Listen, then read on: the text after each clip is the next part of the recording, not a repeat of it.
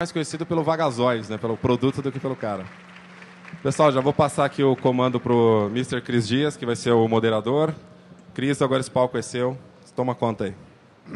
Obrigado, Internei. Ah, ô, Internei. Rapidinho. Quanto tempo? Quanto tempo que é mesmo? Uma hora e meia. Uma hora e, uma hora e meia. Então, beleza. Então, vamos lá. Queria dizer que o sofá não é muito gentil com gordinhos. Precisava de uma mesa para esconder o material. E aí, eu sei que ninguém veio aqui para me ver, veio para ver os caras, mas eu vou chegar mais perto do PC aqui, dar uma de Jô Soares.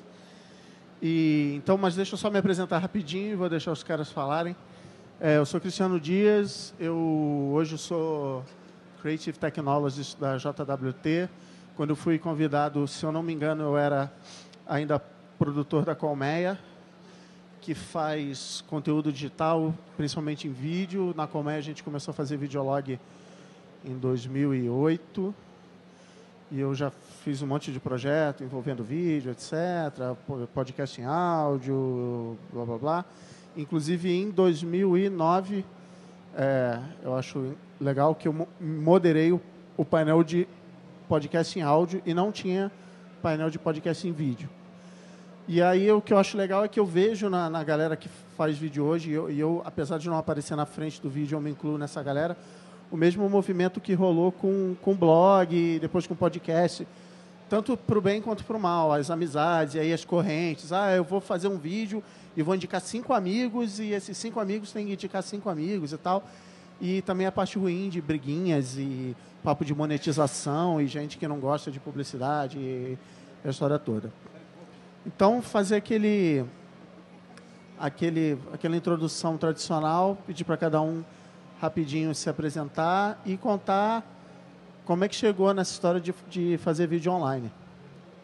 Vai ser a minha direita, por favor. É, como a, você... Oi, tá, tá funcionando? Oi, eu sou o PC, eu faço vídeos para o YouTube. Eu comecei fazendo vídeo porque eu queria fazer alguma coisa para me distrair só.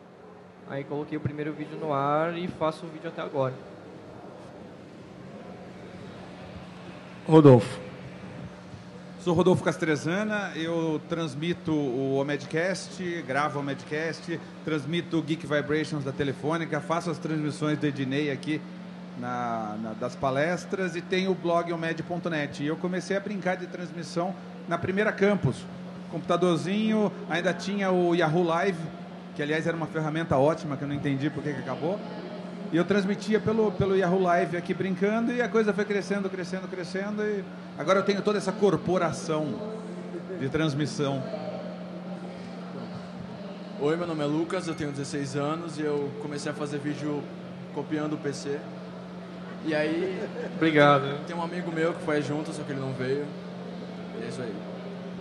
Bom, então o Lucas já respondeu a, próxima pergunta, que é o que, que vocês viam na época que vocês olharam e falaram, pô, legal, eu quero fazer uma parada igual a essa, eu vou, e eu vou melhorar, eu vou ser melhor porque eu vou mudar isso, isso. Tipo, o que que... Quais suas referências, PC? As minhas referências, cara, é, é, é para quem assiste vlog assim e tal, é, são os vlogs americanos, né? Eu assistia já. Quem? A, a, a maior influência toda foi a Mika Kitty. Isso aqui é a Tessa Violet, né? Que eu não sei, acho que tem namorado de outro cara que é muito famoso, que é o Ray William Johnson, que também faz uns vídeos legais. A, até aquela, aquela tag preta que tem no final dos meus vídeos, eu copiei dela. Aí eu fui falar com ela, olha, eu copiei você, desculpa, eu fiquei famoso. Agora, tipo, tem, você vai ver, acabar vendo um vídeo meu, tá copiado lá, desculpa. Aí ela falou, beleza. Aí, mas essa foi a grande inspiração mesmo. Quando eu vi um, comecei a ver os vídeos, eu falei, puta, esse esquema de edição é legal, isso aqui é legal, isso aqui não é legal. E daí, a, quando eu fui gravar um vídeo, a inspiração de edição foi justamente os vídeos dela. E aí, Rodolfo? É, inspiração exatamente, não sei se tinha, porque era uma época bem. Não tinha muito, muita transmissão. E transmissão ao vivo ainda, agora tem muito o, o Can Twist, o Twitch Cam, que o pessoal faz, liga em casa, qualquer câmerazinha na mão, você está mandando. Mas transmissão, transmissão, fazendo um programinha, fazendo, armando um esqueminha, não, não tinha muita, muita. A gente via muita coisa, mas não era. Você ficava Comum. aqui, de- principalmente, de- ficava o dia inteiro, mas o, o movimento aumentava de madrugada Sim, aqui no, sim, na, sim. na campus. E, e eu, eu lembro que eu ficava assim, caraca, o cara tem uma câmera com uma lente que ele dava um zoom assim, ah, pegava o cara lá do outro lado e a galera ficava tipo num chat, não, lembro nem o que, que era, sim, Twitter sim, e sim, tal. Né? No, no- não, era o próprio chat do. do- na época Ah, era do- Justin. do- Justin TV que eu usava. E aí o povo ficava no chat. Não sei, parece que de madrugada a molecada gostava disso, né? Que era legal, ficava. Hoje eles sossegaram um pouco, estão focados em outras coisas. Mas assistem bastante. Assistem bastante. E agora tem concorrência do Twitch Cam e tal. e aí- Sim, sim, agora, tem bastante concorrência. Agora tem gente pelada, né? Aparecendo. Exatamente, agora tem bastante. Aliás, eu acho que ah, uma semana passada tinha duas meninas dançando funk com 3, 4 mil views Ah, bombando de dia. Ontem tinha. É, mas... Ontem tinha, ó. Eu posso ver porque eu sou menor de idade. Ah, tudo bem. Você É pode, né? Você ouviu vi- dizer não vi que. nada. É, ouviu vi dizer. Mas é, ó, mais uma regra da internet que continua funcionando no vídeo é que sexo, putaria é o que fazem. Eu não sei se isso é uma regra da internet, acho é uma regra de geral, mundial. humano, né? Se a gente Ser começar a falar gosta. sobre isso agora, vai começar a encher de gente. Então, Então, levanta aí, começa a dançar que para É, aumentar a isso vai audiência. começar a, a ter menos pessoas, na verdade. Mas o Lucas, vocês vinham só o PC? Como é que era? Tipo, misturaram? Na verdade, eu queria fazer stand-up comedy, tipo, eu escrevia e tal. Só que eu tinha medo de falar em público. Inclusive, agora eu tô meio nervoso. Aí, aí tipo... Só a chance de fazer stand-up. É, bebe água. aproveita. Eu tô muito, eu tô muito nervoso. Aí eu Só olha pra gente, olha pra gente. Eu- eu- Imagina o PC pelado. Olha pro chão, ó. Não, faz não. Olha pro chão. Aí eu chamei um amigo meu porque eu não tinha câmera. E, tipo, eu também assistia os caras que. os americanos. Mas aí eu tinha medo de ser, tipo, o primeiro, sacou? Aí, eu, aí quando o PC começou, aí o Felipe Neto começou, falei, agora, que, agora vai, tá ligado? Agora tem uma, meio que uma comunidade se formando, eu vou ser o único. E aí, como é que você. Como é que foi a tua estratégia de divulgação? Pra galera ficar sabendo do vídeo? Foi falar com os amigos? Como é que foi? Eu mandei, eu- a gente gravou três vídeos de primeira, que eram todos uma bosta. Aí a gente mandou pra, é, mandou pra uns cinco blogs e tipo ninguém respondeu. Aí a gente meio que desencanou e ficou fazendo pra gente mesmo, pro pessoal da escola, e aí uma hora começou aí. Aí que tá, a gente não bombou, sacou? Meio que foi. Foi, foi um. Foi progressivo, foi tipo aos poucos. Não teve um vídeo nosso que foi viral e apareceu em vários blogs, em vários.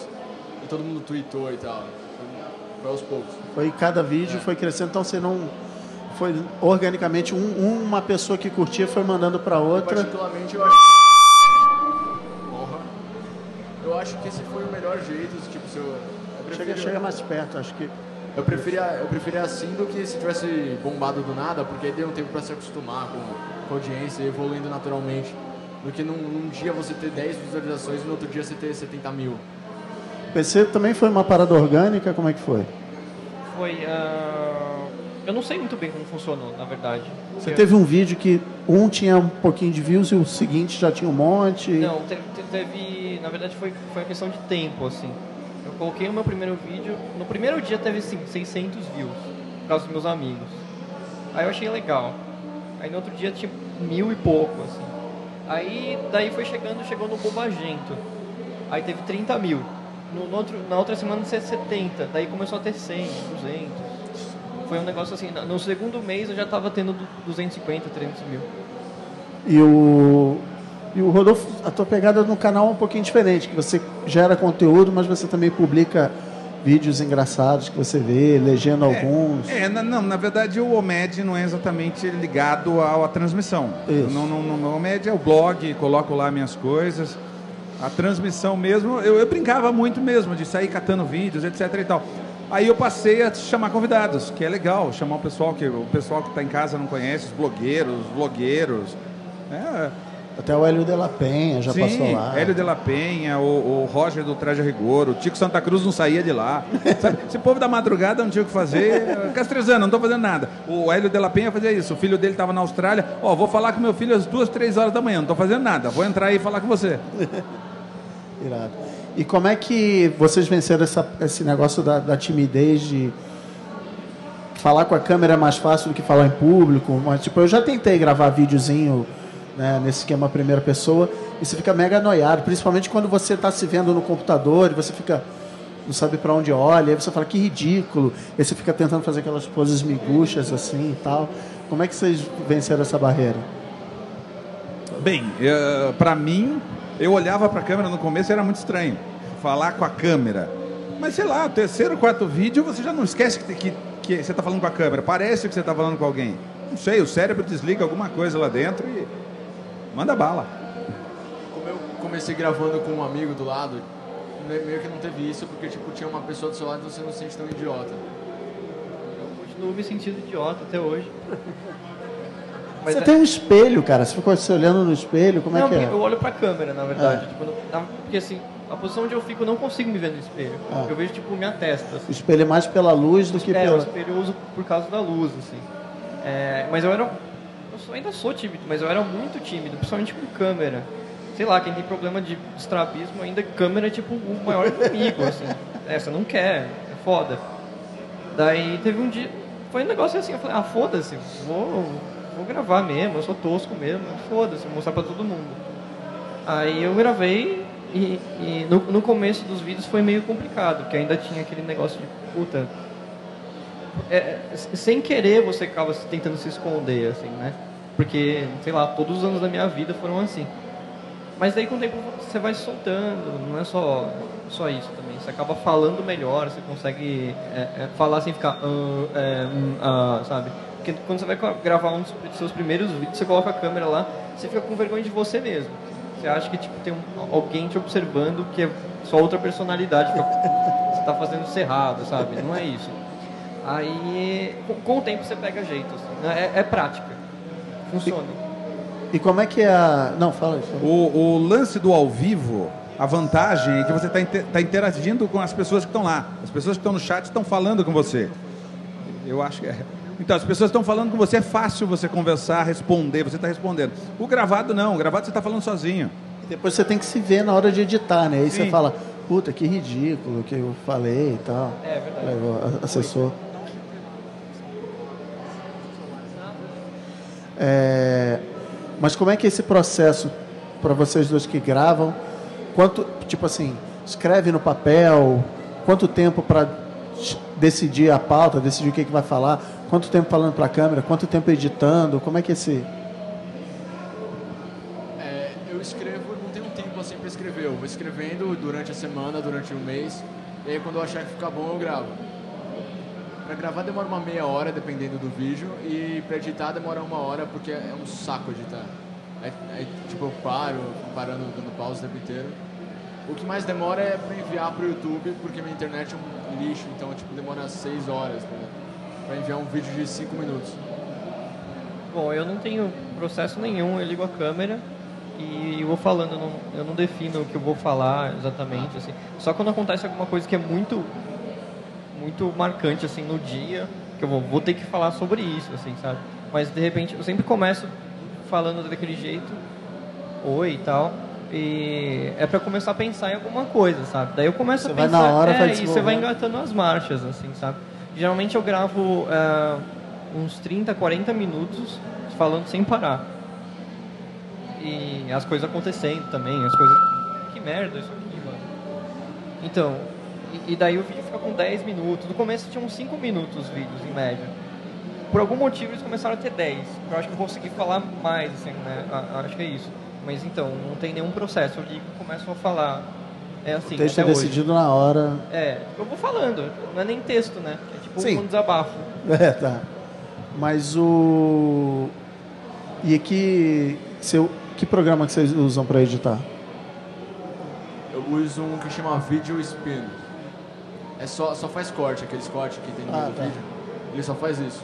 Foi é. o único que eu consegui aprender a mexer. E aí depois não tem que exportar, não perde aquele tempo ou tem? Porque o negócio que é um saco em vídeo é isso. Acabei, agora vou exportar, demora três horas para gerar o ponto .mp4, ponto .mw. Do, é, eu comecei usando aquele Videopad, é um programa de 3 MB, assim, pro, pro PC. E daí eu comecei, eu usava esse, daí um belo dia ele expirou e eu não conseguia mais salvar no formato certo. assim. Aí comecei a tentar outras alternativas e tal. Aí comecei a usar o Mac, aí tentei usar o Final Cut, expirou também. E agora eu uso o iMovie. Mas o iMovie é bacana, aprendi a usar agora, beleza. Mas para exportar é aquela coisa, né? Quando você grava em HD, demora. O, o, o- o iMac já é um computador mais rápido, então tipo, demora uma hora mais ou menos. Antigamente demorava três horas. É que você mudou hoje, você, quando começou era uma, uma câmera de foto. É, É, era, eu usava uma. Eu ainda uso uma câmera de foto, na verdade, né? não, mas era uma, tipo uma É, Cybershot é, da era vida. uma, uma Canon PowerShot, sabe? PowerShot. É tipo point, point and shoot, assim. E daí eu, eu comprei uma Reflex que tem a lente, todas aquelas coisas, É que era é? HD. É É uma, é uma Canon T2i. T2i. É, é legal. Vocês usam a webcam mesmo do. Não, a gente usa uma câmera que é uma filmadora, que era a única que estava à disposição e inclusive ela quebrou faz um mês. É por isso que a gente não tá gravando vídeo. Pô, meu, faz uma Ah, vaquinha galera, aí, velho. pô, Patrocínio agora. Patrocinador, pô. A galera. Os caras têm audiência, pô. E você, o teu esquema de ao vivo, você bota umas.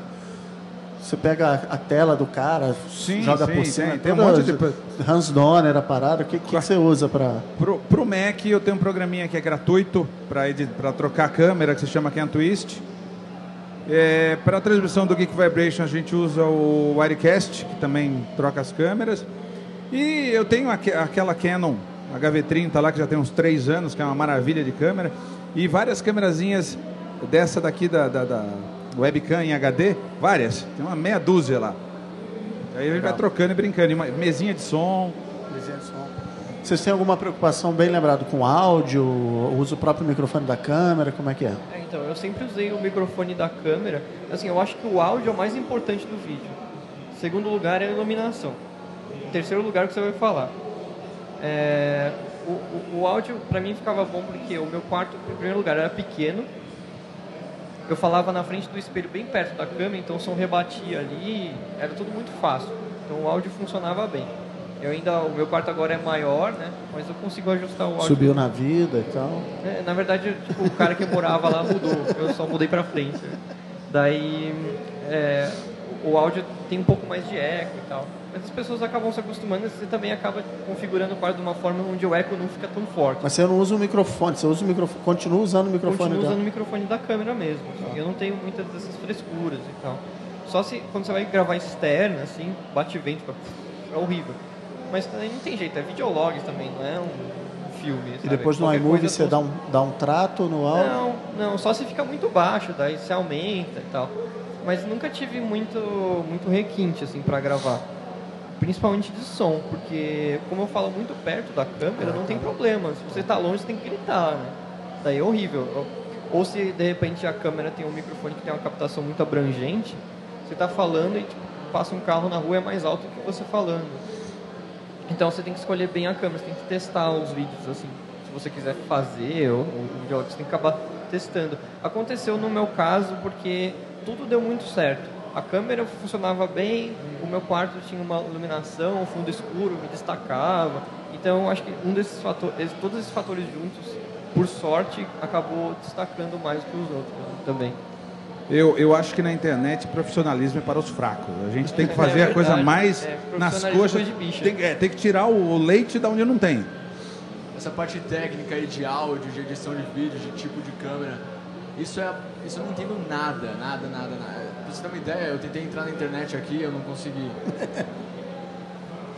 Tem uma senha pra entrar na. Não, aqui é só com cabo. Ah, tá. O único jeito de entrar aqui, ou alguém, amigo teu, liberar um Wi-Fi, mas a organização não tem Wi-Fi. Beleza. Senão, quantos roteadores ia ter que ter para essa galera toda? Obrigado. Mas o. Como é que. Quando é que vocês viram? Tipo, puta, legal, tá, tá dando certo. Teve algum momento que caiu a ficha, você falou. E até bateu uma responsabilidade, caramba, agora eu tenho que prestar mais atenção no que eu tô fazendo. E... Ah, esse negócio de, de, de preocupação eu nunca tive, assim, de ah, que eu vou falar, né? Nunca tive mesmo. Só depois que teve muito, muito acesso, eu me preocupei mesmo em nunca mencionar nome de ninguém quando eu tô falando, porque é muito destaque, o pessoal enche o saco. Só isso. mas os assuntos, os temas, a forma como eu falo, nunca tive problema com isso. É, e acho que quando caiu a ficha mesmo, foi quando quando eu não conseguia mais responder as pessoas no Twitter, assim. E, sei lá, quando a MTV veio atrás, né? Que foi rápido, assim. Foi no segundo mês, eles já estavam ligando, querendo negociar e tudo mais. Pra mim, foi esse o momento. Falei, puta, nossa, o negócio virou mesmo. E aí, ah, tem também um momento que, que eu vi que o meu trabalho não... Meu trabalho estava atrapalhando o meu vlog. Que era um trabalho sério. Tipo, eu trabalhava muitas horas por tipo, 18 horas por dia. E eu falei, bom, eu vou largar isso aqui e vou fazer só o vídeo. Foi eu falei, puta, virou. Agora isso daí deu certo. Para você, já caiu a ficha?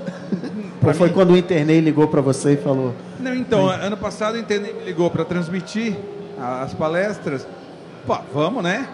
Ganho o ingresso da campus, vamos. vamos lá, tudo muito fácil. A ficha está caindo agora com o lance da telefônica mesmo, de, de sei lá, Sou o, o broadcaster oficial da Telefônica. É legal isso. Vai cair na ficha ainda.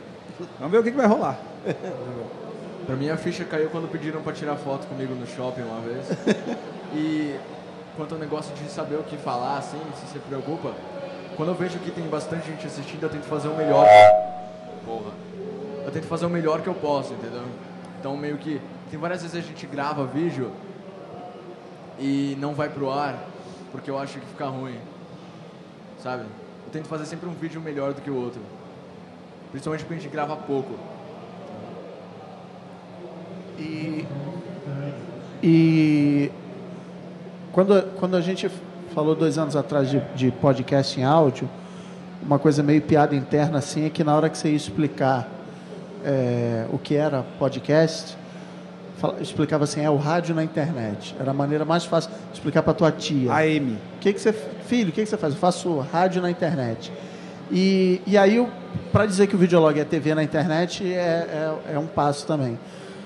Mas o que, que vocês acham que dá para fazer num canal do YouTube ou em vídeo em geral na internet que a televisão nunca vai conseguir fazer? Você, vocês usam alguma ferramenta de comunicação com o público é, que você acha assim, cara, se um dia eu tiver um programa de televisão, horário nobre, Rede Globo, eu nunca vou conseguir fazer isso, não só pela tecnologia, quanto no tipo de linguagem e tal. Que, qual é a grande vantagem de você estar no meio digital? A grande vantagem, é, acho que a maior vantagem de todas é você exercitar a sua individualidade ali. Na TV, os caras nunca vão querer saber quem você realmente é. Eles vão querer gerar uma persona que, que, que, que todo mundo possa se identificar e para isso gerar mais audiência e gerar mais dinheiro. Quando você está na internet, você pode ser, você, você deve ser você mesmo. Você não precisa ser outra coisa. Né? Você faz aquilo que você é e as pessoas podem se identificar ou não, porque a preocupação não é essa. A preocupação é você fazer uma coisa que você quer. Né? É uma, uma questão de, de expressão pessoal, que na, na, na, TV eu acho que não existe a individualidade, assim. Existe uma, uma, uma, uma, direção a se seguir, que todo mundo segue, mesmo se o cara for mais, mais sei lá, é, é, mais controverso ou mais populesco, todos eles seguem para a mesma direção, assim. Nunca passa de um limite. Na internet você consegue passar dos limites. Você pode falar palavrão na internet e, tipo, uma, é, que é muito bom isso, porque as pessoas acham que tipo não é falam, ah, você não podia fazer vídeo sem palavrão se você quisesse. Podia, mas tipo, por que não, sabe? E né, na TV não podia fazer isso. E uma vez um vídeo meu foi foi colocado como menor, proibido para menores de 18 anos no YouTube. E eu tenho 16. Então eu não podia, eu não podia ver meu próprio vídeo.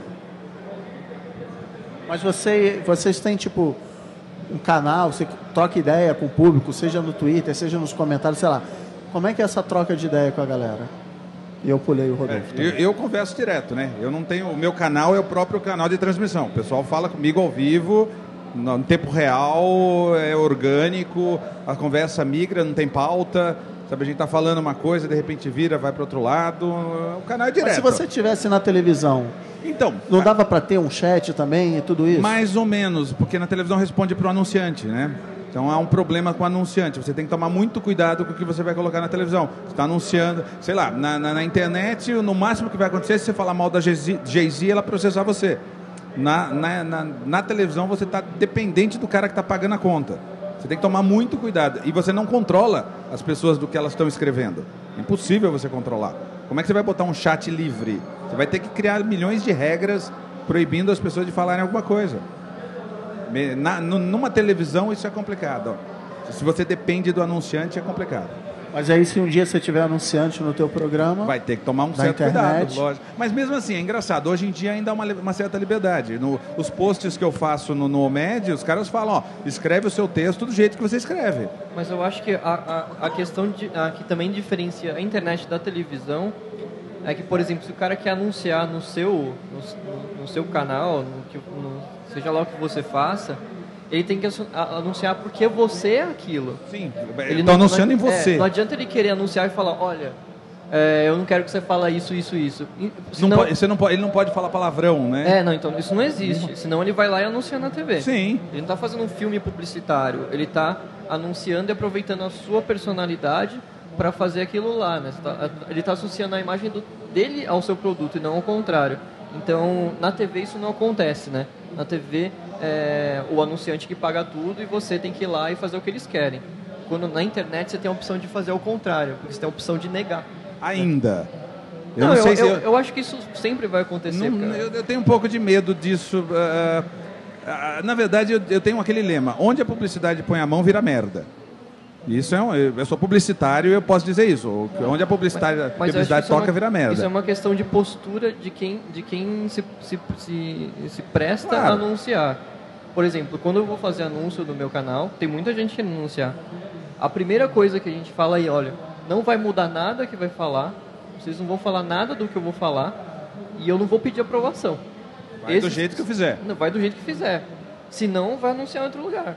É isso. Porque Sim, sim, mas, a- a- mas, mas você tem esse poder de, de- de negociação? mas qualquer um tem. Não necessariamente. De repente o carinha tá lá precisando de uma grana para pagar o aluguel, ele acaba baixando. ou um acha cara que... não nem parou para pensar sobre isso. Ele fala, ah, legal, É. dinheiro, manda aí. Por isso que também. eu acho que o importante é, é as pessoas que, que de repente têm têm maior destaque, né?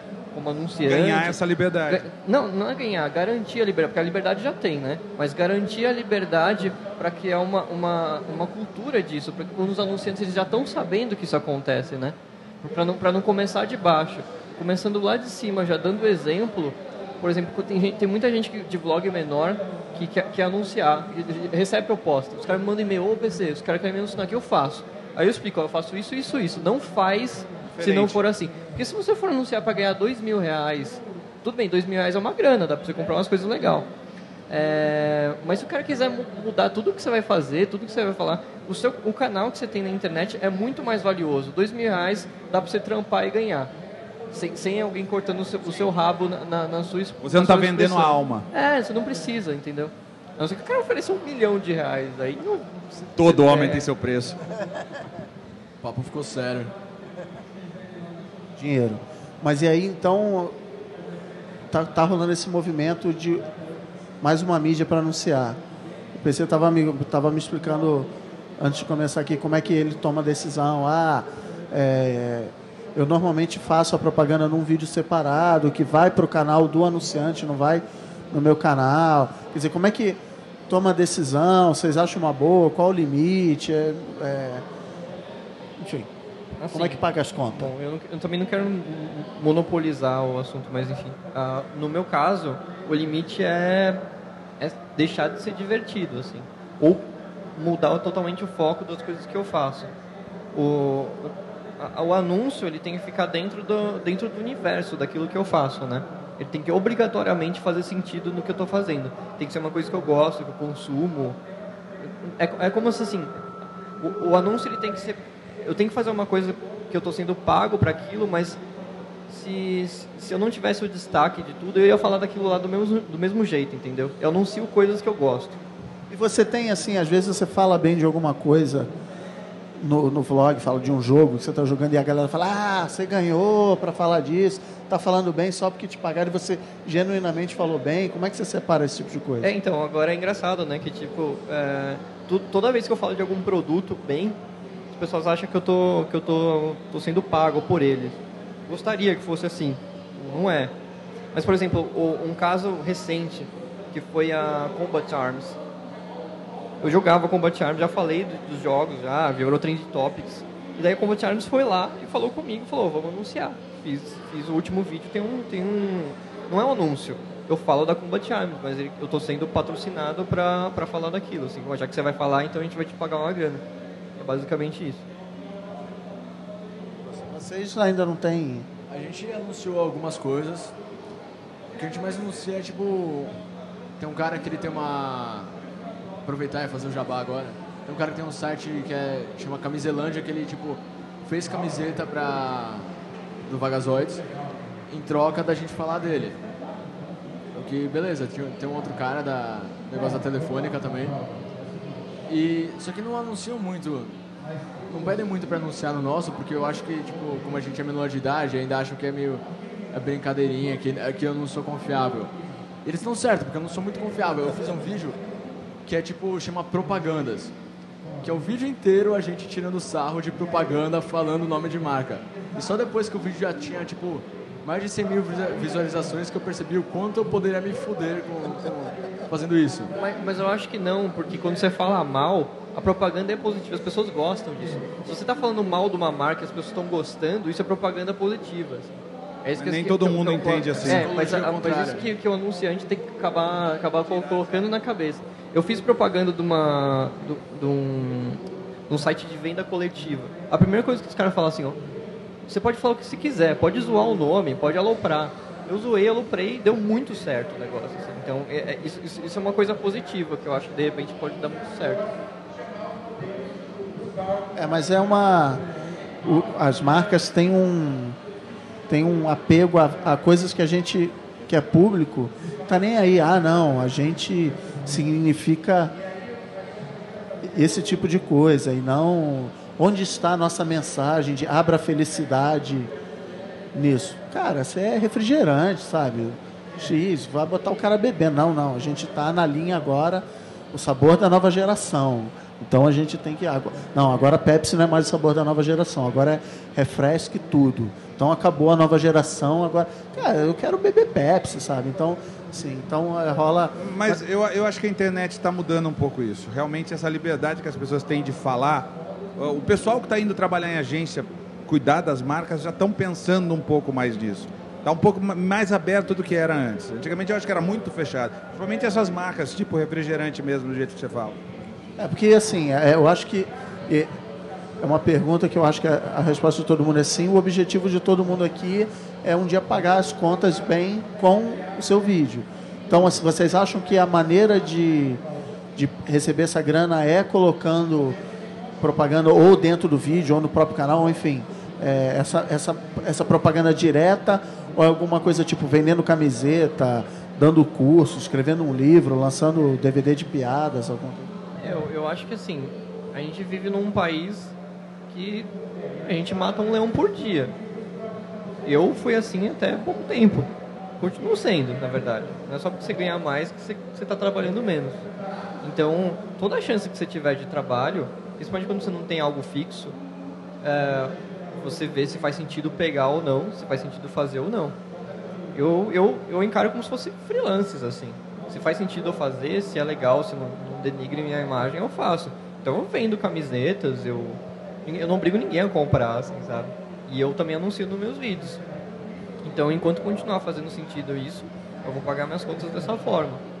Eu acho que não tem problema nenhum, assim, acho que não tem um, um, um limite. A não ser que você deixe de fazer o trabalho que as pessoas ah, no começo se interessavam para fazer só, só anúncio e aquilo começa a ruir, né? Você tem que saber dosar, tem que saber administrar. Eu não acho que eu teria problema em fazer propaganda de uma marca que eu não goste ou que eu não use. A única coisa que eu sou contra fazer é você meio que. Uma vez pedindo pra gente envolver o, produto como se estivesse no meio do vídeo, sabe? Aí fica aquela coisa bem falsa de novela, que a pessoa tinha uma sacola da Vivo. Aí, que... O cara pegando uma caixinha de house e fazendo. É, tipo eu, assim. quando a gente vai fazer alguma propaganda, eu falo no, no vídeo, ó, agora é hora do patrocinador que. E as pessoas preferem assim, na verdade, porque é sincero. É, mas é um negócio que, por exemplo, o PC fez o vídeo agora do House da Fama E aí o cliente deve ter pedido para pegar a caixinha. Não, ele tem que ir no meio pegar É, o produto. porque faz E, parte da e eu acho que é aquela. A galera que estuda storytelling é a hora que você quebra a magia, né? Você tá vendo o vídeo e. tch, Ah, um produto na minha cara. É. Você é lembrado de que aquilo é uma propaganda. Você estava curtindo. Caramba, que ideia legal. O último cara comentar. Puta, eu vou. Será que eu consigo? Como é que eu vou fazer para ser. Aí aparece o produto. Você, ah, É uma propaganda, daí esqueci. Entra, entra a parte profissional da coisa, porque quando você está fazendo um anúncio, você está trabalhando, né? Apesar dos pesares, você está trabalhando. Então, quando tem essa quebra, o cara fala assim, puta, é um anúncio, né? Cabe a você, se o cara está te contratando porque você tem uma desenvoltura, que você consegue lidar com, com as coisas, você tem jogo de cintura, você consegue, de repente, fazer uma coisa que, que, que faça as pessoas esquecerem aquela, aquele, aquele pack que aparece, né? Aquela coisa. Você fala uma coisa que de repente é mais, é mais marcante do que o susto que ele toma. Então, a partir do momento que o cara leva um susto, ele pode se acalmar se você falar uma coisa que deixa ele entretido ali. Então, no final do vídeo, o cara pode falar, ah, mas o resto foi engraçado. Então, foda-se, se é uma propaganda, eu me diverti vendo isso. assim. O importante é isso. O, você fazer uma coisa que entretenha as pessoas, que é, por isso, é isso que elas querem. Mas isso aí no caso do vídeo inteiro foi uma propaganda, né? Que vocês pagaram pra fazer um vídeo inteiro. Esse vídeo inteiro foi, foi então, um- geralmente quando é no nosso, a gente, faz, a gente tinha um vídeo que a gente já ia fazer de qualquer jeito, mesmo que se fosse de graça. Só que um cara falou, dá pra você falar do nosso produto aí? E aí a gente vai lá e inclui a propaganda no vídeo que a gente ia fazer normalmente, entendeu? Aham. E aí é meio que, por exemplo, é difícil combinar o tema da propaganda com o tema do vídeo. Então a gente pode estar fazendo um vídeo sobre filme pornô, fazer uma propaganda de Coca-Cola no meio do filme. sacou? Entendi. É, é- é uma questão mais de elaborar um texto, ou de repente falar muita merda. Porque daí na edição você acaba. Uma hora o, o assunto encaixa, assim, uma hora você chega no assunto, não importa. Se filme pornô Coca-Cola, a gente começa a falar de cinco minutos e a gente já, já consegue fazer um filme pornô de Coca-Cola, entendeu? Eu acho que que rola, assim. Mas é uma questão de, de, de, de- de prática também, na verdade, né? Como você vai praticando, você fala. tem- porque acaba tendo um padrão para você fazer as coisas. Por mais abstrato que possa ser, você consegue enxergar padrões, assim, depois quando você começa a fazer as coisas. Algo. Não, é, você estava falando de ganhar dinheiro. Eu acho que tudo é válido. Se você tem uma figura que consegue lucrar com aquilo, seja que nem o, Pablo Peixoto, que lançou um livro, sabe? Tá, tudo é válido. O cara faz vídeo, gra- grava vídeo, dança, pula, faz o que, o que a pessoa servir para vender.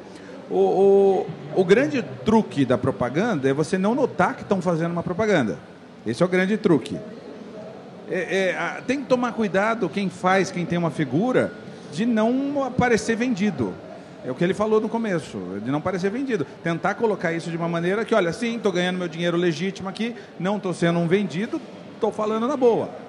Senão, toma, senão vira zona. Não vira Ah, zona. tá bom. Que horas são? Beleza. É, ao meio-dia a gente vai fazer um minuto de silêncio em homenagem à galera da, da Serra lá do Rio de Janeiro. Então não, não se assustem. É, esse, é, é chato ficar falando de monetização de blog, agora monetização de videolog. Eu prometo terminar. É, mas como é que é a reação do público? de Vocês, a galera reclama, ah, se vendeu, não volto mais aqui. A reclamação é sempre a mesma. Ah, o PC é vendido, o PC só faz propaganda agora, o PC... Essas coisas, assim, tipo... Mas é maioria, você já, já entrou na paranoia? Como é que você lida com eu já, isso? eu já- no começo eu era meio paranoico, porque eu falava que eu não ia fazer. No começo eu falava, não vou fazer propaganda, e eu neguei várias no começo. Mas aí, tipo, a partir do momento que eu larguei o meu trabalho, pra isso daí virar o meu trabalho, eu já não tenho mais essa posição de falar, não, não vou fazer mais propaganda porque eu tenho outro trabalho. Porque esse é o meu único trabalho. Então eu comecei a fazer, e no começo eu fiquei paranoico, falei, puta, né, agora só porque eu falei eu vou pagar pela minha boca.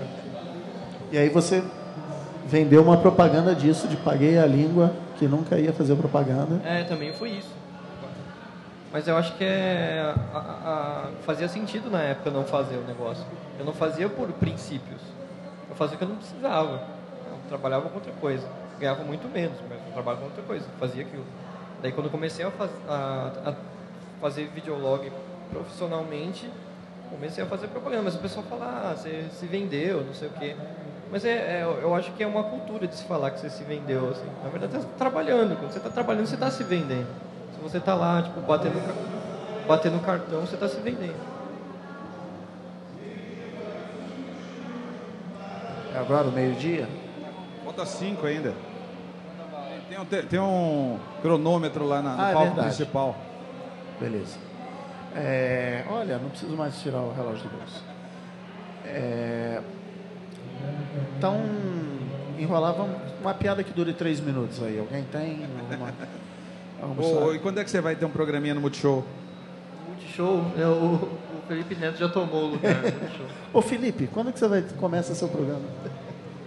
Rola isso? Tipo, piadas internas? De Felipe Tipo, Neto? a gente, os blogueiros têm. Pegar todos os blogueiros japoneses e ficar trocando nome. Oi, Nagaki, não sei o que. Não, Quais são as piadas internas dos vloggers? A piada, in- a, a piada interna é que eu imito o Felipe Neto.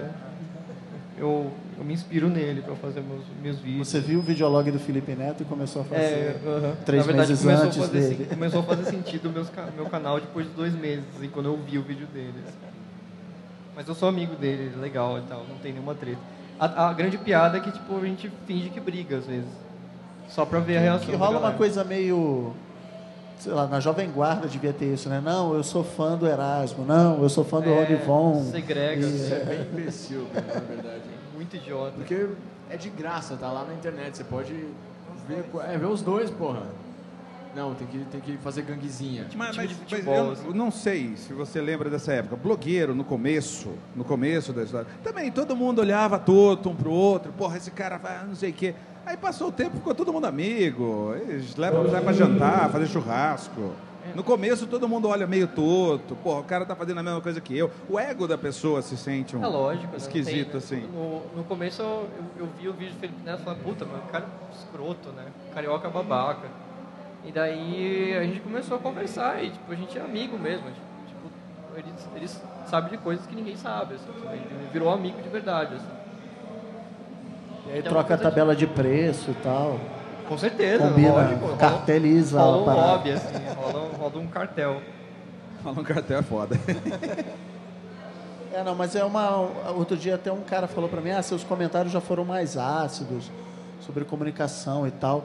E você conhecer as pessoas que trabalham te deixam meio bunda mole nesse sentido. Puta, eu não vou zoar aquele trabalho porque eu conheço o cara que trabalhou e eu sei o aperto que ele passou para passar por isso. É, sei lá, acho que às vezes rola um pouco disso também. É, bom, é, comigo assim, eu tento resolver as tretas. Assim. Se o cara quer brigar, eu brigo, não tem problema. Mas assim, você não fica brigando pra sempre, sabe? Porque isso não é mais criança. Então, tipo, você resolve e fica amigo. Não vale Exceto o. Lucas, que é adolescente.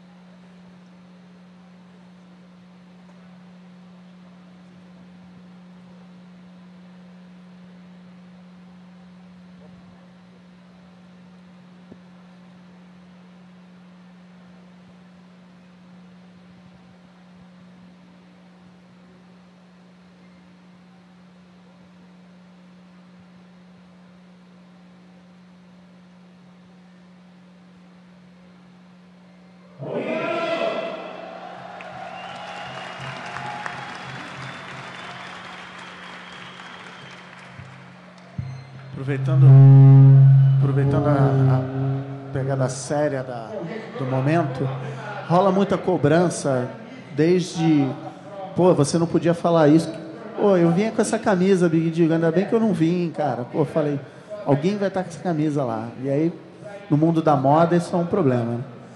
Rola uma cobrança, tipo, pô, cara, você não podia falar esse tipo de coisa, você é um cara de exposição tal, e até coisas do tipo, cara, ajuda aí a recolher mantimentos tal para as vítimas da chuva. Rola uma cobrança em cima de uma suposta responsabilidade que vocês teriam?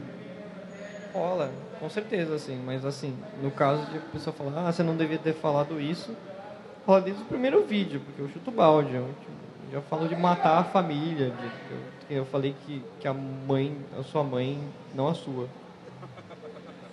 A mãe de todos vocês deve ter saído com os filhos da puta, assim. Eu falei isso no vídeo. Mas, é, é, então, isso não, não adianta nem falar, porque desde o começo é assim. E na parte de rolar cobrança de, ah, faz, fazer arrecadações, essas coisas, eu faço a minha parte, assim. Mas o meu engajamento é mais na parte de, de animais e tal. Eu gosto de, de, de direcionar minhas energias, assim, para ajudar os animais, etc. Também tem a galera que fala mal sobre o fala mal, né? Tem que levar o que eles falam a E, bom, vamos abrir para perguntas, aproveitando esse marco da, do meio-dia, mas antes uma pergunta que eu vou deixar o. Vou deixar o. Teste, teste, estão ouvindo? É, é que tá, esse está mais baixo mesmo, né?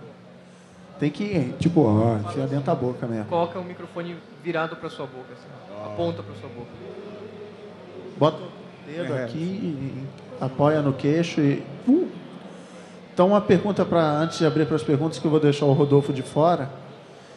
É, como que você vai entender, você vai me agradecer. Como que a vida sexual de vocês mudou? A mulherada caiu dentro depois do videolog? Como é que foi? Não, a minha vida sexual não mudou. E, bom, eu tenho um vídeo que eu falo sobre isso e ele ainda é muito verdadeiro. Assim. Mulherada não, não tira foto no shopping? Eu posso falar, a, a, minha esposa ali, eu conheci ela assist, me assistindo no Medcast. Ah, garotão. e tá aí o filho. Tá lá o filho. Olha a monetização do. Sua vida sexual mudou? Mas quem te parou no shopping não era uma menininha bonitinha e tal? Não, já aconteceu de eu conhecer garotas por causa do vídeo, mas tipo, se você for olhar por esse lado, sim, valeu a pena perder tempo gravando. Tá? Mas não, não, era é alguma coisa que eu dou muita importância. Né? Tranquilo. Então, beleza. Como é que é o esquema de pergunta aí que eu nem sei? Ah, o microfone ali e o microfone aqui. E eu escolho, é isso? Quem? O rapazinho de preto ali, discreto, aqui. Ó. Levanta aí. Ele, ele. Não, ali. Ali, ele, ele. Muito bem. É, Oi, meu nome é Juliano. A pergunta que eu tenho é assim, mais no sentido de, vamos dizer, qual é a receita para fazer sucesso? Porque hoje a gente vê na internet vídeos engraçados que tem uma fazem um sentido e vídeos ruins também. Por exemplo, surgiu há algum tempo uma mulher reclamando sobre a colheita feliz do Orkut. Tipo, é uma coisa muito você fala que sentido faz isso, mas você espalha isso da mesma forma. Então é um videolog também, ela está tentando se comunicar. E qual é a diferença? O que, que vocês acham? Porque existe uma receita, é você falar sobre qualquer coisa e às vezes isso cai no acaso e faz sucesso. Então é Ó, mais ou menos isso. Como o Felipe Neto não pôde comparecer, eu vou responder por ele. O negócio é você falar mal dos outros. Você escolhe um grupo, fala mal e aí você viraliza isso. Não, sacanagem, fala aí. Não, eu, eu acho que, com certeza, você fa falar mal e tirar a roupa sempre funciona. Se você for uma mulher gostosa, no caso. É, mas assim, eu acho que não, não tem receita para as pessoas fazerem sucesso, mas eu acho que tem padrões. Eu acho que, que, todos os vídeos, se você reparar, que fizeram sucesso, assim, um estrondoso, eles são curtos, é, eles têm um punchline, assim, eles têm um assunto que, que, que faz as pessoas querem, querem falar a respeito deles. Porque, tipo, olha só que absurdo isso, assim, sabe? Olha só, as pessoas ficam inconformadas, elas querem mostrar para as outras. Então, eles são rápidos, eles são curtos, eles têm uma certa qualidade visual e audiovisual, assim. Então, você consegue entender bem o que a pessoa está falando, você consegue ver bem o que a pessoa está tá, tá mostrando e, e ele não enche o saco. Ele passa rápido, assim. Ele passa tão rápido que você quer mostrar para os outros e os outros vêm rápido e mostram rápido. Você faz um vídeo de 10 minutos com um assunto maçante, ninguém vai querer ver. O pessoal, quando eu vejo assim, eu vejo um vídeo no começo, o cara faz aquela abertura passa de 3 segundos a abertura, eu desligo o vídeo, eu não vejo até o final, porque eu não quero ficar passando, passando para chegar numa parte interessante. A parte interessante tem que começar, tem que chegar no, no começo do vídeo. Assim. O cara falou da mulher da colheita feliz. Ela faz sucesso, mas ela faz sucesso porque todo mundo ri da cara dela, entendeu? É diferente de você fazer sucesso fazendo um trabalho bom, bom, tipo um vlog, um blog ou e é muito mais difícil você fazer sucesso assim do que simplesmente passar vergonha no público. Uh, não sei se existe uma fórmula, mas fale o que os outros querem ouvir. Basicamente isso. Porque as, as pessoas, tipo assim, você já teve aquela ideia faz dois anos, pô, eu, por que, que eu não pinto aquela parede de azul? Aí chega um cara falando que pintou a parede de azul. Você acaba se refletindo naquele, naquilo. Você acaba querendo saber mais o que aquela pessoa falou e vai falar. Por quê? Porque reflete mais ou menos o que você pensava. Mas peraí, ele pensa, gostou da parede azul, eu também gostei. A gente tem alguma coisa em comum. Vou seguir esse cara. É, não é a fórmula do sucesso para qualquer um, mas ano passado eu, eu participei de um projeto comercial com o, o PC na Copa do Mundo do YouTube e quando a gente mostrou o PC para cliente, a frase dela foi: ele fala tudo que eu queria falar, mas eu não tenho coragem de, de, de falar para as pessoas. Então, é uma coisa meio Seinfeld, assim, meio de, de enfim, de, de, falar. Não, assim, não é uma regra, não, não vai também todo mundo começar a fazer isso, cada um tem o seu nicho, mas é, eu acho que tem, é, né, afinal de contas, é, até alguns meses atrás esse era o meu emprego, é, eu acho que tem algumas fórmulas, no sentido, umas ferramentas, não vou chamar de fórmula, que é você despertar um sentido de comunidade, da pessoa que está vendo aquele vídeo, sentir que faz parte da história, de que e piadas internas, quando surgiu uma piada interna, você alimentar aquela piada interna para a galera olhar para aquilo e falar caramba, só eu entendi aquilo, fazemos parte de um grupo, então tem Inclusive, eu tenho um sonho de toda apresentação que eu dou, alguém levantar o braço e dizer que, que conhece, nunca rola. Alguém sabe quem é o Danilo Mied? Conhece?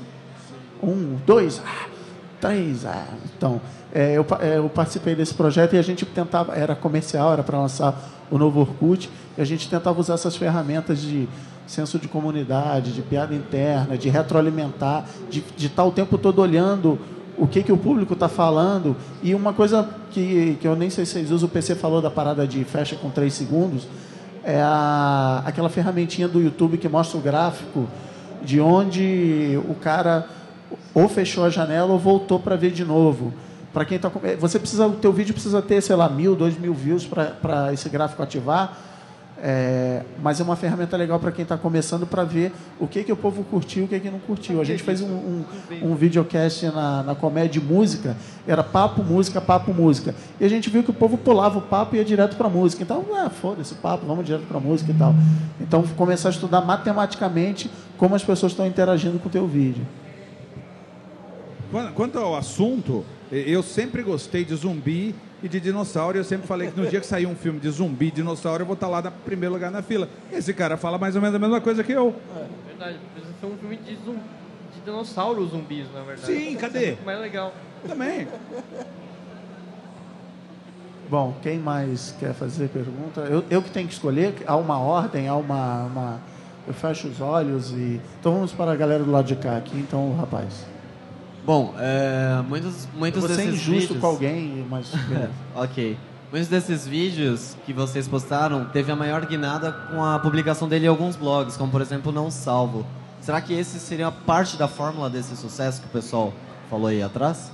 Não, eu acho que não é parte da fórmula. Eu acho que esses, esses blogs que, tem, que eles colocam conteúdo, no meu caso foi o Bobagento, o primeiro que colocou. É, o negócio precisa fazer um certo sucesso antes. Né? Ele já precisa ter todos as, a, os ingredientes para as pessoas se interessarem para o cara do blog, para chegar na, nele e, e, e, ele colocar lá. Não é o cara do blog que fala assim, não, claro que deve acontecer com alguns vídeos, assim, não, esse vídeo vai fazer sucesso, sabe? Ele não pega do, do segundo view. Esse negócio já vai para o blog com mais de mil. mil visualizações. Quando tem mais de mil pessoas assistindo, é porque alguma coisa já está acontecendo. Então não acho que faça, faça parte do, do... Eu, eu acho que ajuda, obviamente, os blogs ajudam, mas a gente acaba meio que por um preconceito não dando valor ao Orkut. A gente tem um certo preconceito pelo Orkut. Eu tenho total, assim, mas Então, eu usava. mas o Orkut é impressionante. Caiu um vídeo no, no Orkut, não precisa cair nenhum blog. Caiu na comunidade certa, bom, explode. É uma coisa da tro- do que a gente estava falando, da pessoa se encontrar naquilo de alguma maneira. E aí outra coisa é você entrar nas estatísticas do YouTube e ver da onde as pessoas estão vindo para ver o seu vídeo. E a gente fez uns projetos também comerciais onde o Orkut tinha mais visualização do que o próprio site da campanha. Alguém pegou o vídeo, jogou no Orkut e foi embora.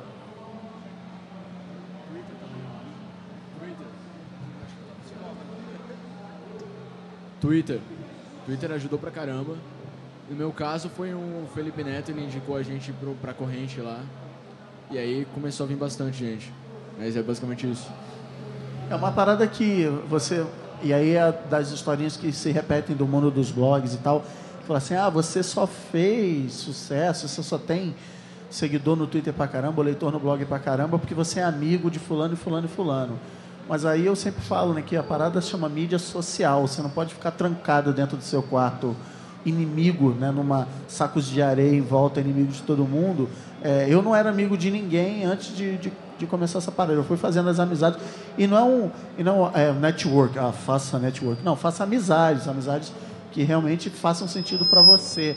E aí, naturalmente, a parada vai rolar, o cara vai ajudar. Na hora que eu for pensar num projeto, pô, vou falar com o Castrezana tal, né? Então, naturalmente, rola uma indicação. Galera, o rapaz de branco que está desesperado.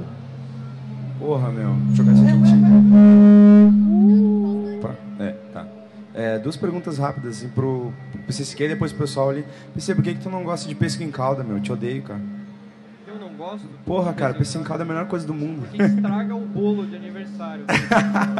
O pessoal coloca pêssego no bolo e você fica esperando o aniversário acabar pra você comer o bolo. Você vai comer o bolo, tem pêssego em caldo, estraga tudo. Porra, é Acabou muito- o seu dia. É muito bom pesca em calda, cara. Tá, outra coisa.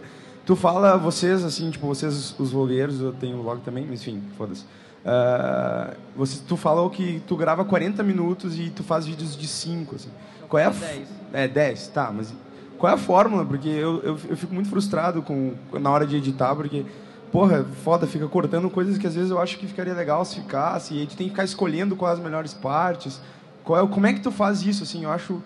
Essa, não é fórmula, mas quais são os critérios que tu usa na hora de editar o vídeo? Bom, é o, é o seguinte. Tá funcionando? Tá me ouvindo? Então, ah, eu gravo o negócio. Conforme eu vou gravando, vou falando, já presta atenção no que aquilo que tem, me soa melhor, assim, sabe? E daí eu coloco o, o, o, o vídeo no editor e assisto inteiro e vou colocando, vou colocando. Depois eu assisto o vídeo inteiro de novo e vejo as coisas que eu quero tirar. Porque agora já está saindo natural, ele fica com 10 minutos naturalmente o vídeo. Já sei o que falar, é, é com o tempo que isso- essas coisas acontecem, né? Mas é, é, é uma questão de quando eu vou falando, eu já sei o que é mais interessante e o que não é. O que, eu, tô- que eu estou mais, empolgado falando, que, que me dá mais é, ânimo para falar. Tem coisa que eu começo a falar e eu falo, puta, mano, deixa pra lá, eu paro de falar, assim, sabe? E também tem as coisas que eu deixo acontecer, que são momentos que eu não estou falando nada, o meu cachorro chega, assim, sabe? Que eu uso para mudar para outros assuntos, para não ficar uma, uma transição drástica. Então eu corto o assunto de uma vez só, coloco uma coisa que não tem nada a ver, a pessoa já sai daquele, daquele assunto, re- refresca a mente e eu começo a falar outra coisa. Assim? Eu escrevo o vídeo, então se eu escrevo 5 minutos, o vídeo vai ter 5 minutos. É tipo, eu não fico falando o tempo inteiro. E aí eu meio que divido certinho o que- eu vou falar e o que o meu amigo vai falar. E é bem menos natural do que ele. E do que ele. Tá com tanta raiva do cara que não tá nem falando o nome, né? Fala, meu amigo, meu ex-amigo que me largou Cara nesse aí. palco aqui, É. sozinho. Saiu com a namorada, filho da puta. Ó, eu, eu faço ao vivo eu- porque eu não gosto de editar. Não tenho paciência para editar. Mas o segredo da edição é não ter dó. Corta tudo, tira tudo, reclama tudo, limpa, deixa do jeito que você acha que é legal. Perdeu uma piada? Põe no próximo vídeo. É, tem, Tem uma dó. máxima do, Tem do- dó. da edição que eu aprendi com um documentarista que é o público não sabe o que você não colocou. Então, assim, ah, nossa, aquela piada sensacional não botei, é, tá bom, mas ninguém vai saber. Então. É, inclusive, ne- nesse último vídeo que eu falo um negócio da Miley Cyrus lá, que fumou maconha, eu tinha falado no outro vídeo. Eu falei tanta coisa no outro vídeo que cortei. Falei, ah, depois eu falo sobre isso aí. Pronto. Do lado de cá, alguém. Olha lá, o, lá embaixo, para ferrar o, o auxiliar ali. Vamos ver como estamos de tempo enquanto isso. PC, é, você agora que tá famoso, tá com. Oi. Oi. Você que agora que ficou famoso, tá com o pé, tá com o pé, já tá dentro da MTV. O que, que você espera daqui um ano pra você, vamos falar assim? Eu espero que o mundo acabe daqui a um ano. É isso que eu espero, de verdade. Tá pegando geral. Não, mas assim, deixa eu responder sério essa porra. É, responde, desculpa, cara. Desculpa. Eu queria, eu ia ser dramático, mas eu falei não. Meu, na, na verdade eu nunca esperei nada. Até agora eu não esperava que isso acontecesse. Então, e chegou a um ponto. Não chegou a um ponto, minha vida sempre foi assim. Eu sempre esperava que fosse acontecer uma coisa, acontecer uma coisa completamente diferente. Então eu, eu fiquei de saco cheio de esperar as coisas e resolvi deixar acontecer, né? Eu vou, conforme as coisas vão acontecendo, eu vou fazendo o que eu acho melhor. Eu vou tentando me direcionar para onde eu acho mais positivo. Mas de repente pode acontecer alguma coisa que, que- enfim, você, não, você nunca sabe, não é verdade? Então eu espero que as coisas continuem legais do jeito que estão, na verdade. Mas eu também não espero ficar Rola um plano plurianual Plano? de. Você Não, parece cara. deputado, chegou assessor aqui, passa um recado e tal, você não tem Não, não, plano de governo, esse- um negócio assim. Esse negócio de, de assessoria e tal precisou porque eu não consigo mais resolver as coisas, é muita coisa. Eu preciso viver um pouquinho assim e tal. Mas é, eu também não pretendo ficar mega famoso, não quero virar uma celebridade de, de, de aparecer no TV fama, sabe? O, me- a- o- o- o meu objetivo não é ficar famoso. Eu não queria, aliás. Se eu pudesse não ser famoso e ganhar o dinheiro que eu estou ganhando e fazer as coisas legais que eu estou fazendo, eu escolheria não ser famoso e continuar fazendo. Mas para mim, tipo, esse negócio de fama é só um, um mal necessário, no meu caso, que eu não gosto. É, e, e as coisas que eu faço não é para ficar mais conhecida ou menos conhecida, que eu quero fazer coisas legais, quero me divertir. Então eu quero de repente continuar trabalhando e fazendo coisas que eu acho divertido fazer, ter prazer em, em viver. É basicamente isso. Eu quero que quero ter paz de espírito, basicamente. É, vocês têm grandes planos, formaram um conglomerado de comunicação e comprar a Rede Globo. Eu não sei se vou continuar fazendo isso, tipo, como carreira. Existe uma grande chance de eu trabalhar no escritório de gravata, Você- rodeando tipo- vida todo dia. Faculdade, vestibular, qual carreira, essas paradas, você. É, tem, tem isso, né? Eu vou ter que fazer faculdade. Vai ter. Vou ter que fazer faculdade.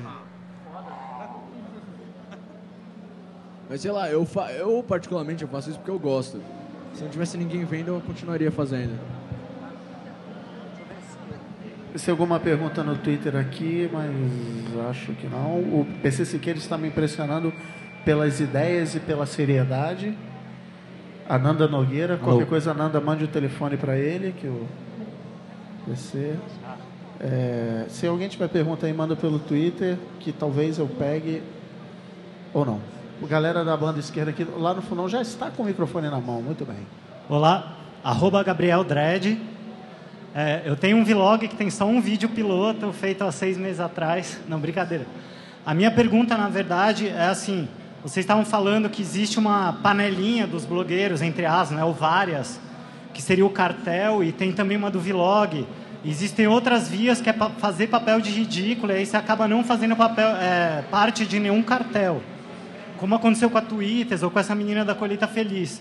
Então, minha pergunta é: como viralizar sem se queimar?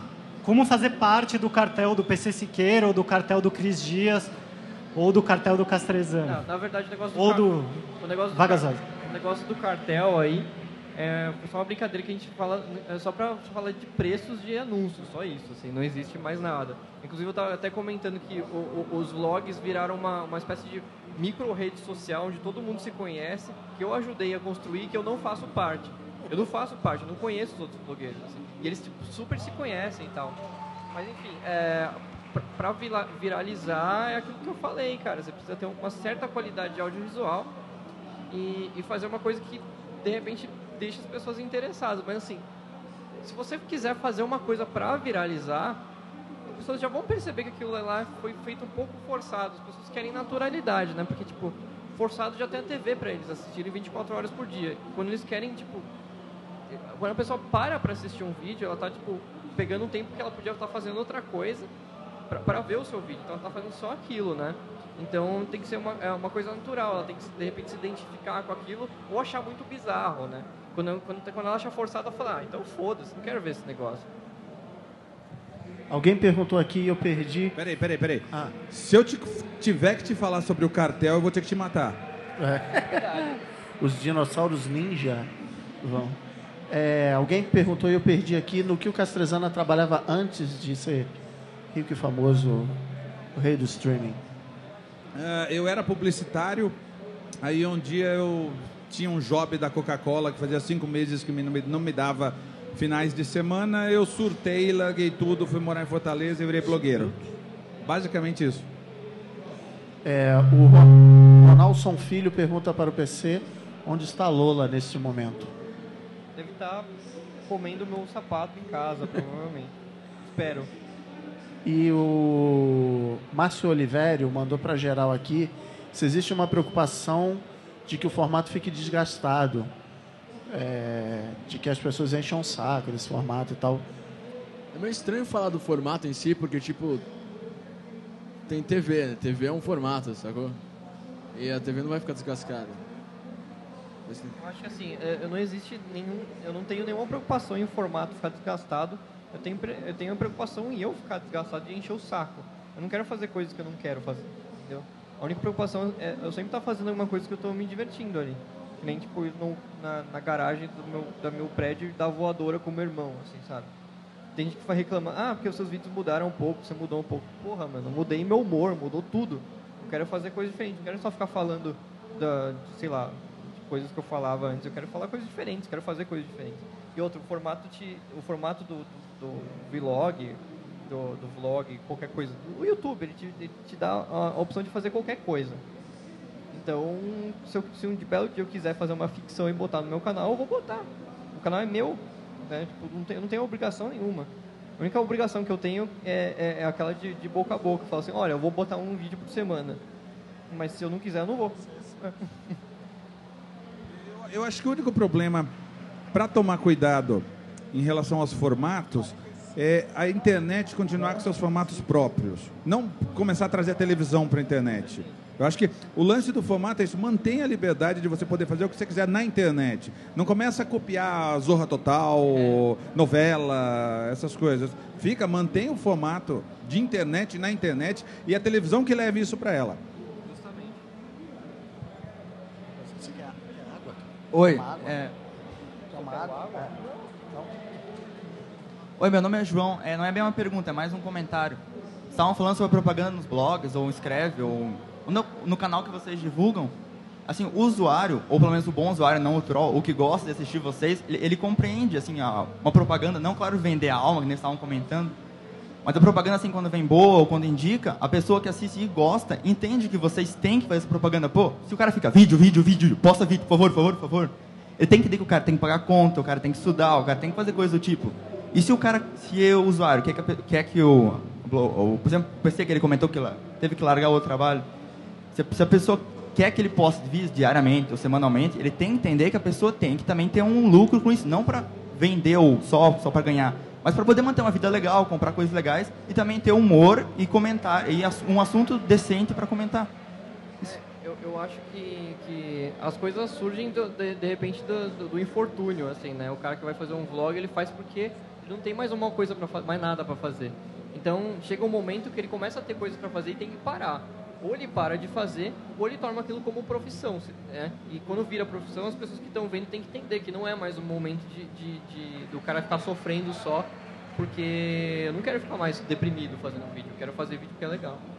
No meu caso, meu caso particular é tipo, eu não gasto dinheiro com nada útil, entendeu? Eu não pago conta, não pago colégio, meu pai paga. Então o dinheiro é um bônus para fazer alguma coisa que eu faria de graça. Então eu não posso falar, tipo, sem dinheiro eu não faço, sacou? Eu não tô fazendo vídeo porque não tem proposta de propaganda. Eu não tô fazendo vídeo porque eu sou vagabundo mesmo. Do lado de cá, o microfone já está com alguém? Não, ali. É, ano passado rolou um boato de um vlogueiro famoso que estava encomendando roteiros. Eu queria saber até que ponto esse videologger montado O- o assim. Felipe Neto estava incomodando? Não, não, não sei, não sei te dizer. Eu Quem- não, Mas só quem não é mais blogueiro famoso além do Felipe Neto? Ah, eu não, eu não acompanho o vlog, desculpa. Só... Você tá falando que eu tava encomendando? Não, não, eu, eu não acompanho, sério, eu não acompanho. Ah, então você não Então, acompanha. rolou um boato de um vlogger famoso que estava comprando roteiros. Eu queria saber até que ponto esse vlogger montado, por assim dizer, que foi feito para agradar o público, é válido. Não, cara. É... Bom, eu, como conheço eu mesmo, não sei se você está falando de mim, e como eu conheço o Felipe Neto, eu acredito que esses são os, os blogueiros que estão famosos, etc. Então, ah, o Felipe Neto tem certeza absoluta que ele não encomenda, não encomenda roteiros, ele mesmo escreve os negócios, a opinião é dele. Ele, ele faz, ele, ele com certeza tem uma direção para criar certa polêmica. O personagem que ele faz é assim, Ah, a única coisa que eu sei que, que ele tem feito ultimamente é, é ter um diretor para o vídeo dele, para ficar mais rápido para ele fazer. No meu caso, eu não sei se eu estou encomendando ou não, porque eu tenho dupla personalidade. Então pode ser o meu outro eu, de repente, está escrevendo para mim mesmo, e eu estou pagando para ele. Você paga bem? Ou... Eu não sei, está sumindo o dinheiro da minha conta, de repente pode ser isso. Estou colocando em outra conta que eu não sei Ó, qual que é. Eu, eu, acho, eu acho que se tiver alguém pagando o roteiro, não é uma coisa ruim. Eu não acho que isso seja uma coisa ruim. Bem ou mal, tem alguém escrevendo alguma coisa para alguém fazer. É meio normal isso fazer. Não é necessariamente, não é necessariamente uma, uma regra de que o PC Siqueira precisa só ele escrever as coisas dele. Sabe? Tipo, não há regras. Na verdade, não há regra. lá- e, tipo assim, lamento destruir o mundinho, mas o CQC tem roteirista, o David Sim. Letterman tem roteirista. Todo mundo o- tem. Sabe? Todo, mundo todo roteirista é uma- comediante tem é. roteirista. Na TV, todo comediante tem roteirista, porque é muito caro pagar o comediante para gerar o conteúdo. Então, o que o comediante faz? Ele tem vários roteiristas, querem para ele, ele vai lá, aprova, faz algumas mudanças e coloca a persona dele ali. Isso, isso de coisa acontece. Né? No- no- o seu comediante favorito faz isso. Então, a- a- eu acho que a única, a única responsabilidade que o cara tem é quando ele fala assim, não, eu não tenho roteirista. É uma coisa pessoal, na verdade. Ele, ele não tem roteirista mesmo. Mas ele pode, ele pode ter e querer enganar as pessoas mesmo, que ele não tá sendo filho da puta. Ah, e tá tipo, de o repente, pro, dele. pro Lucas, daqui a alguns anos, vai ser muito mais confortável escrever o roteiro Passar do que ter alguém. que ficar na frente da câmera e lá preocupado e tal. Sim, o que eu faço bem é escrever, então eu vou escrever. O que eu faço bem é editar, eu vou editar. E dividir a, a parada. É alguém ali, ela aqui tá com o microfone. Oi, Mariana, boa tarde. É, minha pergunta para o PC Siqueira, se você tem planos para Lola, tipo, achar um macho para ela cruzar. Tá? Brincadeira. É, eu queria saber quem inspira vocês, quem são as inspirações, já que é uma área tão nova, falar isso de si não vale. Eu, eu, na verdade, quando eu comecei a brincar, realmente eu não tive uma grande inspiração. Eu queria fazer alguma coisa. Eu, eu comecei a gravar vídeos, mas eu não tenho paciência para falar, escrever texto e não tenho paciência para ficar editando. Eu comecei a brincar ao vivo e ao vivo funcionou muito melhor. Hoje em dia, eu, eu, eu, eu, eu descobri um, um cara chamado Craig Ferguson e eu gosto muito do texto dele. Eu, eu tento olhar o que ele faz, mas não é bem uma inspiração, não, não, não, não encaixa no que eu faço. Eu apenas gosto muito do que ele faz. Eu, tem muitos caras que fazem vlog no Brasil que eu admiro, muitos caras que fazem vlog nos Estados Unidos que eu admiro, mas o, os caras que eu realmente tipo me inspiro são tem alguns comediantes americanos, tipo Seinfeld, Louis C.K., George Carlin, Chris Rock, são os meus ídolos. Eu sou muito fã do Woody Allen, mesmo, assim, desde, desde sempre. É, eu não sei se é exatamente uma inspiração, porque eu, eu- eu nunca, tipo, falei alguma coisa pensando, nossa, isso soa como o Woody Allen, que é muito pagar pau, né, na verdade. Eu gosto de George Carlin, assim, eu gostaria de ser ele, se eu pudesse. Mas não sou. Então, eu, eu- são coisas que eu gosto, que de repente você vai consumindo e, e você vai, vai, vai, vai digerindo aquilo lá, você acaba, acaba, acaba fazendo parte da sua personalidade, assim. né? Então, eu acho que são essas duas pessoas, o George Carlin e o Woody Allen. E tem o Chuck Palahniuk também, que é um escritor, assim, mas eu não sei se exa Eu acho que sim. Algumas coisas que eu falei tem muito a ver com, com as coisas que ele escreveu, sim. Aqui, quem, com quem Oi, está? Ali. Tudo bom? É, bom, meu nome é Ana Maria. Eu queria perguntar uma coisa pro PC. Porque eu comecei o meu vlog quando eu estava na Europa, um vlog totalmente Eu sem pre-. Ah, obrigada. Oi. Totalmente sem pretensão. E só que eu comecei a receber um monte de comentário. Aliás, 30% desses comentários eram assim: ah, o vlog é legal, mas ela é gorda. Ela fala legal, mas ela é gorda. Só que, por outros os 70% dos restantes, eu recebi comentários dizendo, pô, tu me ajudou a ter menos vergonha de mim mesma. Eu andava de moletom na rua e o fato de tu se expor assim foi uma coisa que me ajudou a perder essa falta de confiança e tudo mais. Queria saber se está acontecendo contigo também, da galera falar. Ele é legal, mas Muito, ele é vesgo. Muito, muito, assim. É, meu vlog é legal, mas eu sou vesgo. É, eu recebo quase que diariamente, assim, e-mail de gente... É, sei lá, meu, tem uma, pessoa, uma, uma galera muito fodida, assim. Eu já, já recebi e-mail do cara que teve a cara queimada e tem vergonha de sair na rua. E ele ficou... Não sei se é verdade ou não, mas deve ser verdade. Aí ele falou que, que vê o meu vídeo lá e eu falando coisas que, que de repente fazem sentido pra ele, se sente um pouco melhor. Tem gente que fala que, que tava numa semana que tava querendo se matar e assistiu meus vídeos e por algum motivo que se matou, agora deve estar morto. É que por algum motivo ele, ele teve vontade de não, não, não fazer, porque ele viu uma pessoa que de repente era parecida com ele em alguns, alguns, sentidos, em alguns sentidos e estava fazendo uma coisa que ficou ficou interessante para todo mundo, assim, sabe? É uma coisa de, de muito de uma pessoa que que está excluída totalmente de grupos, ver uma outra pessoa que de repente também também tem a ver com exclusão social e ela se identifica com aquilo e vê que que, que, que o que vira não é se incluir, assim, o que vira é se excluir para de, repente se tornar mais especial, assim. Eu acho que, que essa parte foi a parte mais legal. Que eu não fico comentando com todo mundo que eu acho muita pagação de pau, ficar falando, ah, porque eu salvei fulano. Não é Mas assim. como é que tu se sente sabendo que de vez em quando tu tem essa responsabilidade em outras pessoas? Porque já É. teve gente mandando o mesmo tipo de mensagem pra mim e eu não sei como responder. Eu fico, ah, pô, a vida é bonita, vamos Não, lá. eu é fico falando, pô, eu fico feliz por de repente poder. Eu sempre respondo, eu falo, por de repente ter ajudado. Tipo, é- eu sei como é foda. De repente eu tô. Não sei tanto quanto é foda pra você, mas já passei por momentos também que de repente artistas, músicos, pintores me, me, me deram mais inspiração, tipo, mais motivação de vida mesmo. Assim. Eu acho que, que por mais que eu não seja um, um, um artista desse sentido, um músico que faz, faça coisas, eu acho que, que a relação que as pessoas têm é a mesma, né? Elas veem aquilo lá como uma... De repente ela não consegue pensar de, uma, uma outra forma que não seja muito negativa, ela vê uma pessoa parecida com ela pensando de uma forma que ela deveria estar pensando mais positiva, assim, e ela, e ela se identifica e vê que, que o caminho não é só para baixo. É, eu acho. Eu acho, sinceramente, que deve ser horrível ser uma menina na internet, porque outro dia alguém tweetou uma busca no Twitter, Twitcam peladinha. E aí era assim, direto, várias meninas fazendo Twitcam e sempre vinha um cara e falava, ah, muito legal, mas fica peladinha aí.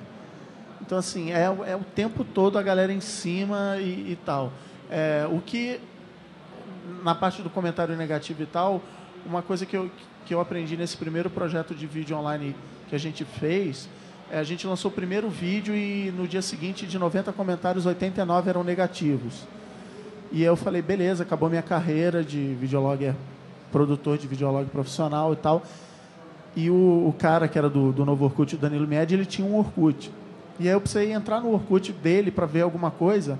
E ele tinha tipo 120 pedidos de amizade. Era um número maior do que o número de comentários negativos.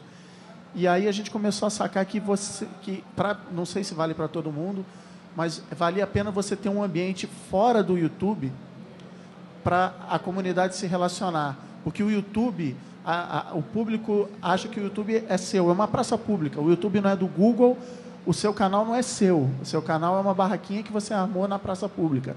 Então eu, o público acha que tem o, todo o direito de entrar no teu canal e te escrotizar e te chamar de gorda e tal. Mas se você cria um ambiente separado, um blog, um fórum, uma comunidade no Orkut, qualquer coisa, é, começa a, a haver um sentido de não, pô, eu estou na casa dela, eu vou ser minimamente educado. E a comunidade também, se alguém entrar lá escrotizando, a comunidade automaticamente vai.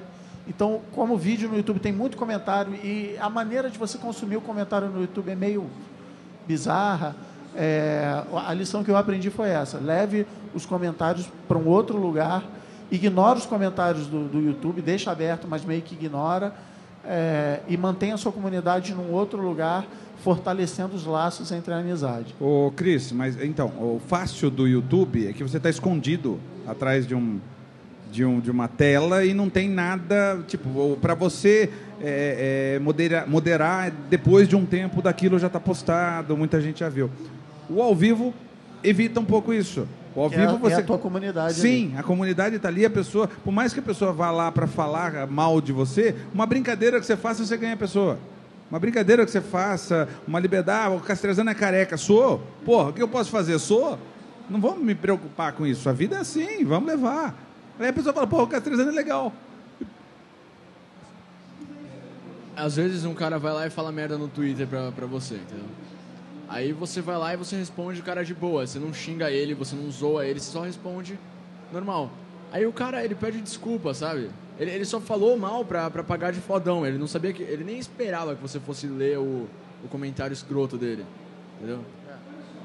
Por aí. Bom, a pergunta do lado de cá, com quem? Tá com você o microfone? Beleza, manda ver.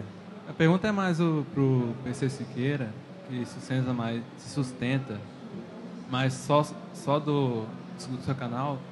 É, se algum dia assim você, por exemplo, ah, perdeu todos os acessos, ninguém está mais vendo meus vídeos e tal. É, se você tem planos, um plano B para você se sustentar, de onde tirar seu dinheiro, etc. O, o vlog é o meu plano B. O meu videolog é o meu plano B. Não, mas assim, se você, por exemplo, ninguém mais vê seus vídeos assim, hipoteticamente, Aí de é- onde você tiraria seu dinheiro? Posar pelado e virar evangélico, né? É Não, o- assim, na verdade, assim, eu trabalhava com uma coisa que era um sonho de infância.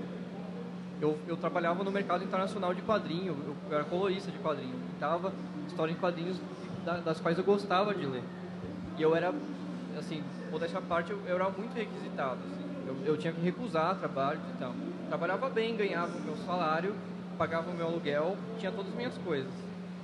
É, quando eu saí, quando eu parei de trabalhar na, com quadrinhos, os caras falaram assim, pô, que pena que você parou. Gente vai sentir saudade. O meu agente falou assim, qualquer momento que você quiser voltar, volta aí. Assim, lógico não vai ser a coisa mais fácil do mundo. Mas, ah, da mesma forma que eu entrei, eu posso entrar de novo no mercado de quadrinho, se ele existia ainda. Então, ah, assim, essencialmente, eu trabalho com arte. Eu pinto. Eu pinto, é engraçado falar isso. Mas é, eu trabalho com isso e é- é- foi sempre o meu primeiro trabalho. Meu objetivo de vida era trabalhar com isso. Eu mudei com um aperto no coração, assim. Mas porque o que eu estou fazendo agora faz mais sentido. Eu dou muito, eu dou muito valor para as pessoas dando valor que eu estou falando, do que para as pessoas dando valor porque eu estou pintando. Mas se de repente as pessoas pararem de dar valor porque eu estou falando, não vai ser diferente dos meus últimos 23 anos de vida. Que eu passei bem. E como é que vocês explicam em casa, nas festinhas de fim de ano, tal, da família, o que, que vocês fazem?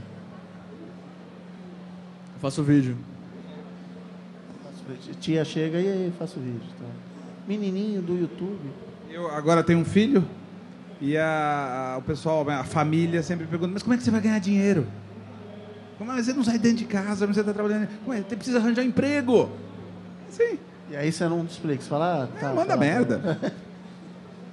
É, eu, eu assim, eu já tinha esse problema trabalhando com quadrinho, né? É verdade. Como é que é você saiu de um lugar ruim para um lugar pior, é, né? eu, eu fazia quadrinho, o pessoal me falando como é que você ganha dinheiro com isso.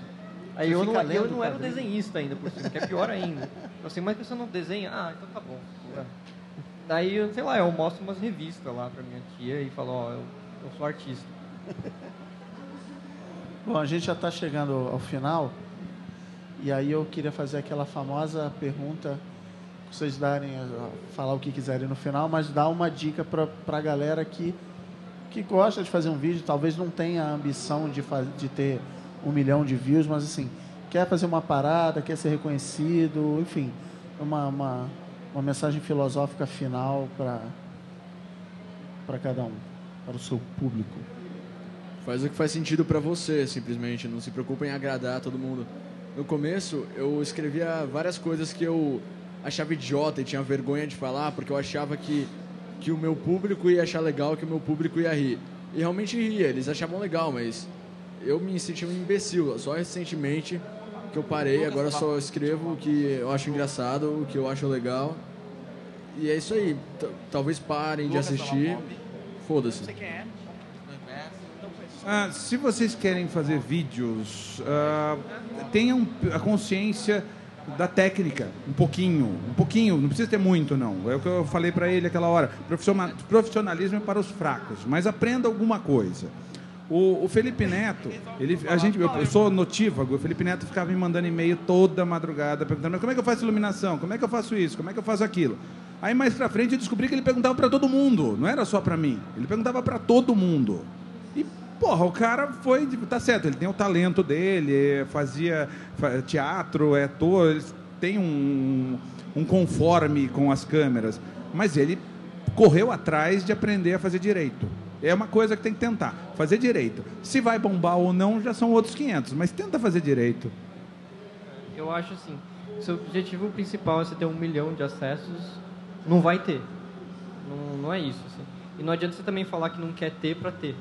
Também não é, não é o sentido.